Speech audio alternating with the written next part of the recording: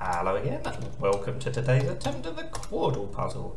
We've got a surprising amount of greens today. The top right, if the O is not third, where is it going to go? I suppose it has to be second, perhaps born, if I can spell it right. That hasn't really helped. Oh, we've got the B in the right place on the bottom right, so it has helped. That could be broom or brook, and probably lots of other things. Let's try broom. Well, that's annoying, isn't it? Oh, and it's not even that. That was a waste of at least two guesses. Okay, the top left, the S has to be fourth. So I'm thinking erase, and then the bottom left, maybe spiny, something like that?